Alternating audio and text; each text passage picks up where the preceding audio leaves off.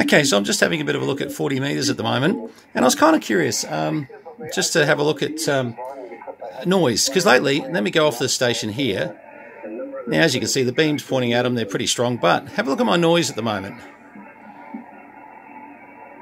And we're going to try something. I have no idea whether it's going to work or not, but I saw one the other day on the RASA uh, site, Facebook site, with one of their QRM kits, and I thought, well, I've got some chameleon ferrites, and I thought we might give them a go. Let me show you what they are.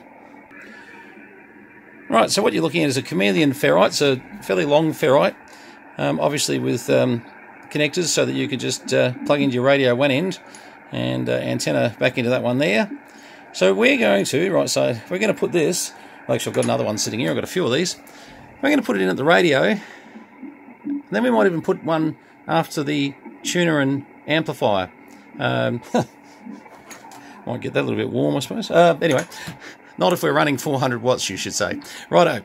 Um, let's have a look. Let's plug it in. We've got about an S5 to 6 sitting there with preamp level 1. So let's just see if it makes any difference at all. Right, we're just having a bit of a look here. And at this stage, I would have to say the noise has possibly increased a little bit even since we last looked at it. But um, no effect here, and this is a, a straight ferrite. Now, the QRM kit, um, which I'm going to have to make one of these up. Um, I've got the ferrite here, which is no problems. Um, that's a it's a round, um, and normally you get about a meter of coax, and you just uh, obviously put um, two PL259s and SO239 joiner uh, on there. But what we're going to try is we're going to put one off the end of the um, the tuner as well here. We're going to really just see if we can just find out if there's a way to to use these uh, straight ferrites um, and how they you know vary in their performance to the uh, the round ones. Um, obviously, the round ones every time you bring that meter of coax around and you turn it through, uh, you're getting you know, a little bit more um, attenuation through doing that. So that's why I was a little concerned as to whether these chameleon ones would actually work. I mean, they're, they're look, they're a, a great idea. Um, but you're probably not getting as, as much benefit as the um, QRM kits that are available. That you know, just just from my basic knowledge, and that is very basic, by the way. I'm really just playing around tonight. Okay, so we've now got one on the. Um, it's still sparking up a bit there on the back of the antenna tuner. Now have a look at this. This is interesting. This is very interesting. That noise level has dropped down to, uh, you know, S3 to 4. So, you know, that sort of says a lot. Um, now we had very little when we put it, you know, on the back of the radio there, but on the back of the antenna tuner here, that has made quite a bit, um, bit of change. Uh, so, interesting, very, very interesting. Um, I'd like to do some tests on 80 meters as well. Um, what these are, I thought I'd just show you on the website here.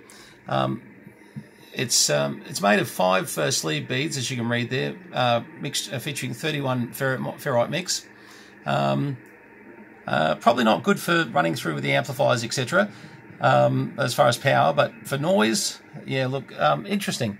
But um, you know, I had to run two of them to um, to really get the the benefit. I've got a few of these here, so we might fit a few of them around and just see uh, see how it goes. But that is quite amazing just to see that sort of noise reduction. So I can highly re- recommend um, either you know going to the RASA site and ordering the QRM kit. It's probably a lot cheaper doing that um, than it is to um, to buy these in from the uh, from the US. Um, these are about forty five dollars US, but you know there's a few issues um, getting them over freight wise, etc. And uh, you know making sure that uh, they're in one piece. But uh, although they do pack them very well, so I'm sure that's not an issue. So, okay, that's just a little um, test on QRM using a bit of ferrite, um, uh, you know, beads. um, I'm a bit surprised because when I put the first one in, I thought, oh, well, this is useless. But the second one sort of changed my mind a bit. So maybe um, they do say here if you can feed it at the antenna feed point or right behind the antenna tuner. Isn't that funny? When I put it right behind the radio, no noticeable difference. When I put it behind the antenna tuner, she um, made a few S points difference. Um, I could live with this noise.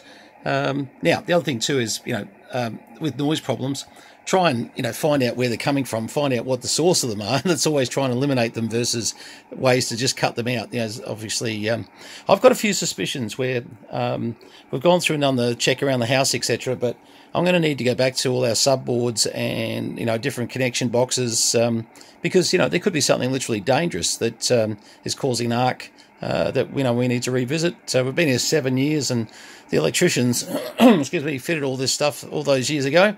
But it might be time just to go back and check, make sure there's no water, no condensation, no you know sort of um, no nothing. But uh, anyway, we'll have a look at that and just uh, suss out what's going on. But uh, that's uh, that's definitely a surprise to me. I didn't expect to see quite that much um, attenuation of noise.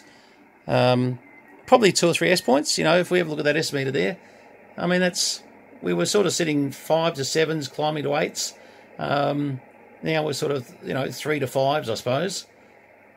Amazing. All right, well that's just a quick video on ferrites. Um, if anybody wants to know more about ferrites, don't talk to me. Um, I'm not an expert. I'm just having a play. But there are people out there that have been dealing with these QRM kits and really know their stuff. So um, this is really just a, uh, a video on something to say, well, hey, look, you know, um, I had some success and that's great. Uh, but, um, you know, your problem may need a, a different solution. All right, 73s from VK3 Charlie Mike from Tangambalanga, Northeast Victoria. All the best.